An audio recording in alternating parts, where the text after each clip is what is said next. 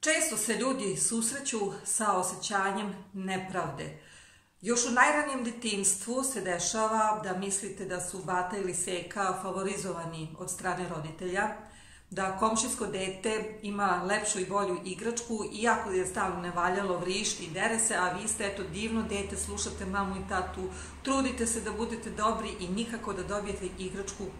koju verujete da zaslužujete. Tokom školskog doba, e tek tu se mi izlažemo često nepravdi, tako što verujemo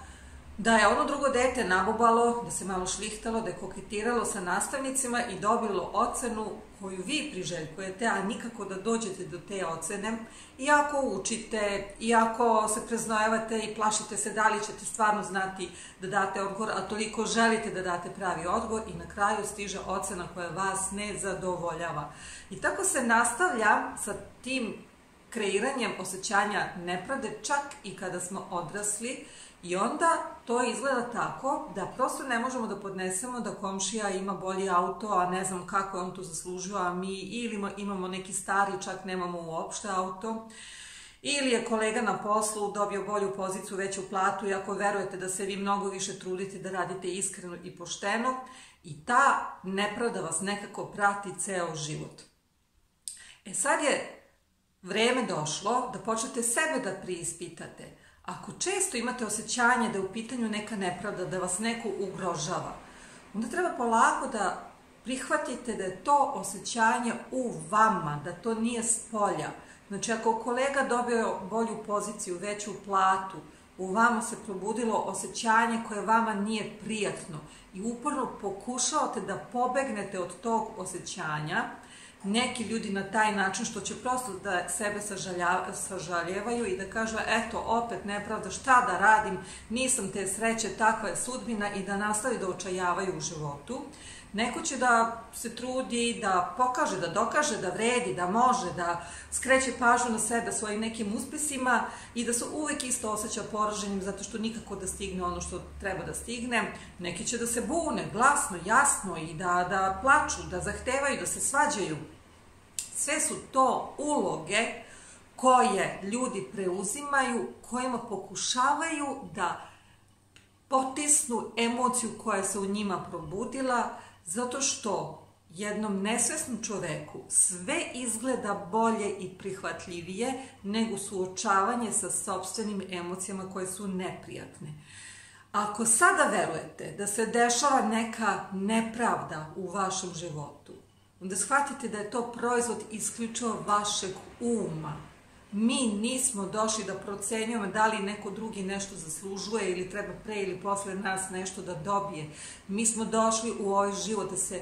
svojim emocijama posvetimo, a upravo ti divni ljudi nama, svojim odnosom prema nama pokazuju šta je to u nama, šta mi još treba da otkrijemo da počnemo da prihvatamo i da volimo.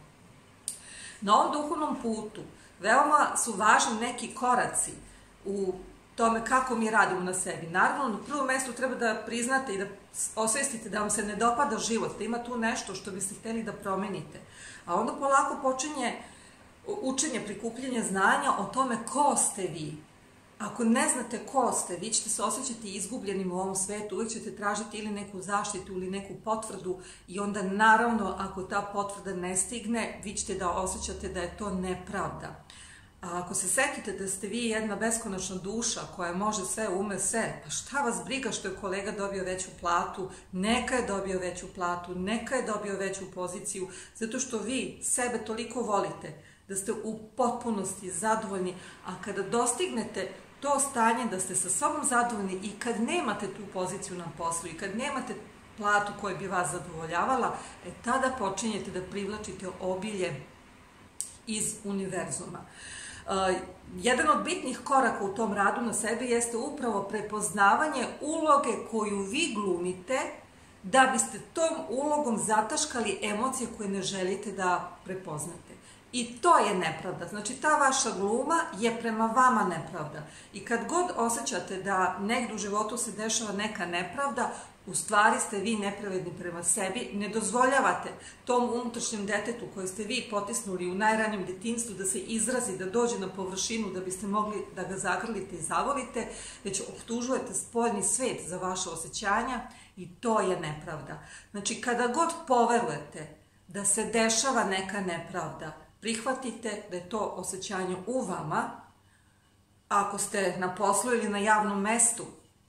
Možda ne možete istog trenutka da prosto se posvetite isključivo sebi, ali čim dođete kući, odmah sedite i setite se te neke situacije koja je bila, ukoliko još uvek ima emocija nepravde u vama, ona, ta emocija će da se probudi i tada sedite i ponavljate volim sebe. I kad je nepravda tu, volim baš to osjećanje u sebi, ali to je to što smo mi u stvari sebi uradili. Mi smo sebe potiskivali u najranjem detinstvu da bismo bili dobri drugima, a onda nikako da nam stigne nagrada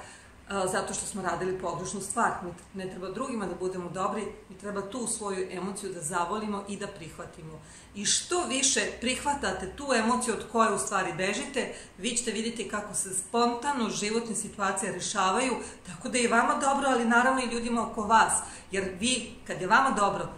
nećete uživati ako vidite da nekom drugom nije dobro, nego ćete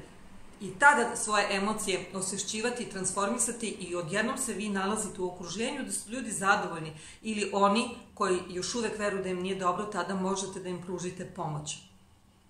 U svakom slučaju veoma važno da shvatite da nepravda ne postoji, zaista to proizvod vašeg uma, okrenite se svojoj emociji i vidjet ćete kako nepravde nestaju.